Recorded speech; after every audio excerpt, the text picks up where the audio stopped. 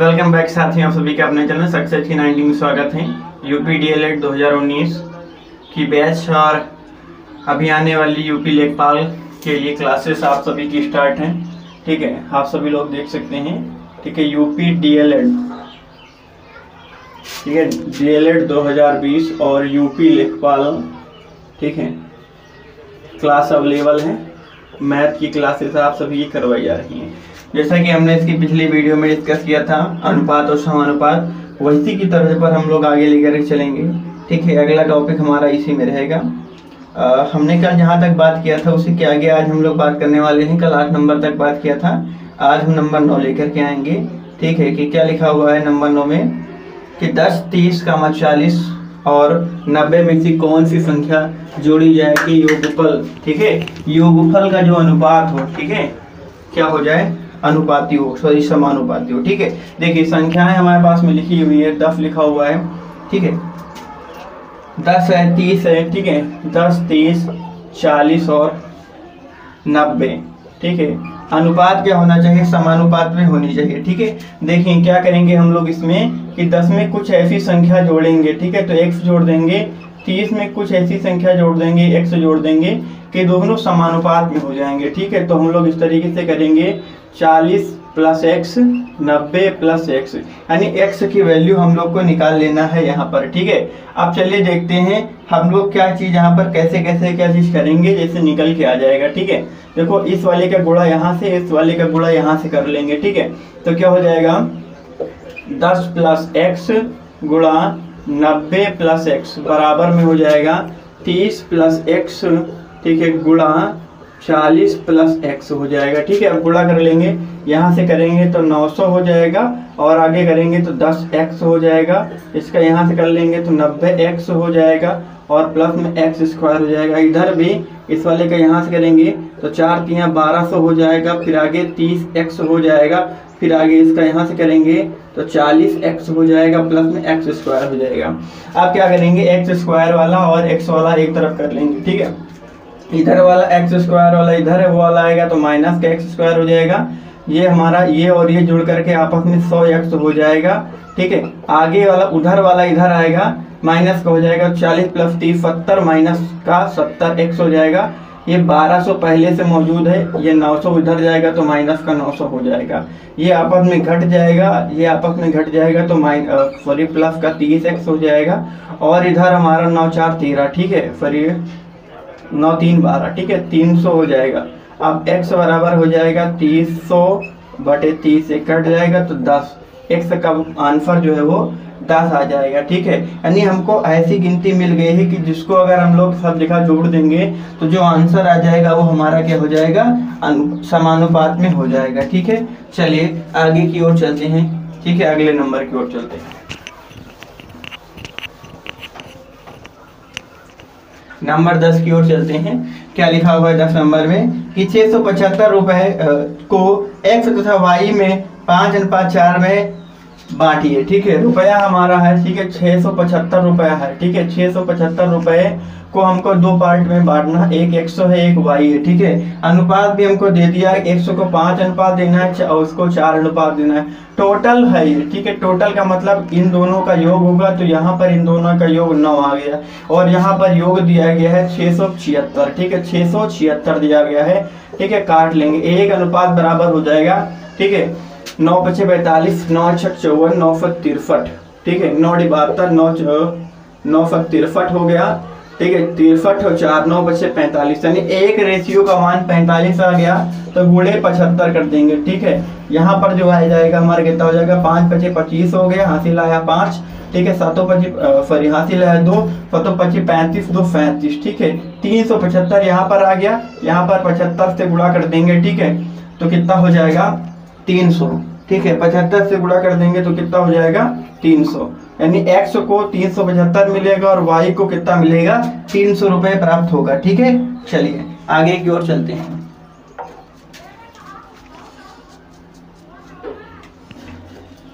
Question number ग्यारह की ओर चलते हैं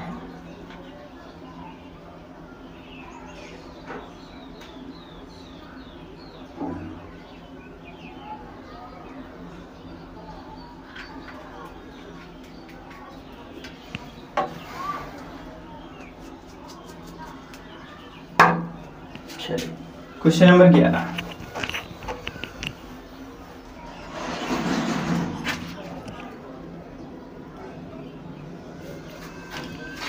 क्वेश्चन नंबर ग्यारह है, यदि पंद्रह किताब का मूल्य पैंतीस रुपए है तो सत्ताईस किताब का मूल्य बताइए, ठीक है? देखिए, ये किताब हो गई, ठीक है, ये किताबों की संख्या इधर हो जाएगी, ठीक है? और इधर हो जाएगी मूल्य हो जाएगा। ध्यान से समझिएगा सभी लोग, ठीक है? क्या हो जाएगा यहाँ पर? ठीक है, अनुपात से सवाल लगेगा, ठीक है? क्या है कि पच्चीस सॉरी पंद्रह किताबें हैं, इनका मूल्य दिए दिए गया है पैंतीस रुपए, ठीक है? इनका दिया गया है पैंतीस रुपए। ठीक है? और हमको सत्ताईस किताबों का मूल्य बताना है। यहाँ पर देखिए, ज़्यादा कम का दिया गया, ज़्यादा का पूछना है तो हमारा सिंपल वाला अनुपात लगेगा, यानी इस तरीके से अनुपात हम लोग लगा सकते हैं। देखिए, पंद्रह अनुपात, ठीक है? पंद्रह अनुपात पैंतीस तो समानुपात सत्ताईस अनुपात इस तरीके से हो जाएगा, ठीक है? अब देखिए हम लोग यहाँ पर कैसे करेंगे, ठीक है? चलिए, देख लेते हैं। ठीक है, पंद्रह अनुपात पैंतीस, ध्यान दीजिए। ये वाला गुड़ा यहाँ से हो जाएगा, ये वाला गुड़ा यहाँ से हो जाएगा। अब यहाँ पर करना क्या है हम लोगों को कि पंद्रह गुड़े एक हो जाएगा बराबर पैंतीस गुड़े सत्ताईस। एक बराबर में हो जाएगा पैंतीस गुड़े सत्ताईस बटे पंद्रह। तीन, पाँच दिया पंद्रह, पाँच सत्ते पैंतीस, तीन नौ सत्ताईस, ठीक है? नौ सौ तिरसठ ठीक है, नौ सौ तिरसठ यानी एक सौ का मान तिरसठ निकल के आ गया यानी कितने हो जाएँगी? सत्ताईस किताबें जो हो जाएँगी वो तिरसठ रुपए की हो जाएँगी। इस तरीके से हमको ये सवाल लगाना है। सभी को समझ में आ गया? चलिए, आगे बढ़ते हैं। चलिए, बारह नंबर है कि एक छावनी में 250 शिक्षार्थियों में से 60 दिन का भोजन था। यानी कुल शिक्षार्थियों की संख्या हमारी 250 है। पच्चीस दिनों के पश्चात में 100 सिपाही, ठीक है? सौ सिपाही चले गए। तो शेष जो खाद्यान्न है वो कितने दिन चलेगा? ध्यान समझिए, हमको क्या निकालना? सबसे पहले शेष दिन निकाल लें ठीक है? शेष दिन। कितने? टोटल सात दिन थे, पच्चीस दिन बाद, यानी टोटल बचे दो, पैंतीस दिन। अब हमको क्या निकालना है इसी के साथ में? ठीक है, शेष जो है सिपाही। शेष सिपाही निकाल लेंगे, ठीक है? शेष सिपाही। सिपाही कितने थे? 250 थे। सौ चले गए, बचे कितने? एक सौ पचास। ध्यान दीजिए, कैसे निकालेंगे? इधर सिपाही हो जाएगी, इधर डे की संख्या हो जाएगी। पहले कितने सिपाही थे? दो सौ पचास, पैंतीस। ठीक है, यहाँ वाला हो जाएगा पैंतीस। फिर सिपाही सौ बचे, ठीक है? सिपाही सॉरी हाँ डेढ़ सौ डेढ़ सौ। सौ चले गए, डेढ़ सौ बचे। तो खाना कितने दिन चलेगा? ध्यान समझिएगा, अधिक का दिया गया तो क्या हो जाएगा? ठीक है, अनुपात हम लोग बना लेंगे। ठीक है तो क्या हो जाएगा हाँ दो सौ पचास, पैंतीस, समानुपात एक सौ पचास अनुपात, ठीक है, अनुपात एक्स हो जाएगा, यहाँ का गुणा हो जाएगा, ठीक है तो दो सौ पचास एक्स बराबर में पैंतीस गुड़े एक सौ पचास, ठीक है। चलिए, एक सेकंड कहीं गलत हो गया है। एक सेकंड, यहाँ पर थोड़ा मिस्टेक है, सही कर लेते हैं। देखिए और यहाँ का रेशियो दिया गया, ठीक है? ये वाला रेशियो समझना है हमको, ठीक है? ये वाला रेशियो क्योंकि हमको इन्वर्ट ऐसे लगा लेना है, ठीक है? तो यहाँ से चलेंगे पूछ की ओर से एक्स अनुपात, ठीक है? एक्स अनुपात पैंतीस, ठीक है? एक्स अनुपात पैंतीस समानुपात, ठीक है? अब 150 या फिर इस तरीके से कर सकते हैं हम लोग। थोड़ा सा इसका मैथड कन्वर्ट कर लेंगे। ठीक है, इस तरीके से x अनु, x बटा पैंतीस, अनुपात का मतलब बटा समानुपात का मतलब बराबर, ठीक है? और इधर कितना हो जाएगा? एक, दो सौ पचास, ठीक है? दो सौ पचास बटा एक सौ, ठीक है, पचास। इस तरीके से भी कर सकते हैं, ठीक है? क्रॉस मल्टीप्लाई कर लें, x बराबर में हो जाएगा दो सौ पचास गुड़े पैंतीस बटे सौ, ठीक है? डेढ़ सौ, ठीक है? पाँच से काट लो। पाँच दिया पंद्रह, पाँच शून्य, हम शून्य, पाँच सत्य पैंतीस, ज़ीरो से ज़ीरो कट गया, ठीक है? अब आगे जो है पाँच तीन पंद्रह, ठीक है, पाँच से पैंतीस। आप क्या करेंगे, ठीक है, यहाँ पर अगर हम लोग निकालेंगे तो गुड़ा कर लेंगे, ठीक है? पच्चीस तीन पचहत्तर बटे तीन, काट लो, तीन दूनी छः और तीनों पची पंद्रह। एक सेकेंड, कहीं गलत हो गया है। पच्चीस सत्ते ठीक है, यहाँ पर गलत हो गया है। पच्चीस सत्ते कर लेंगे। पाँच सत्ते पैंतीस हो गया ठीक है? तीन बचा पाँच दो दस तीन तेरह ठीक है?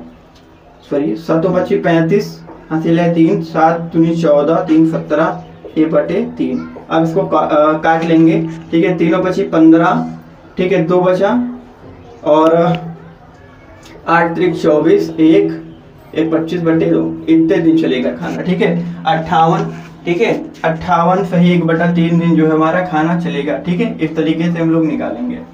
चलिए।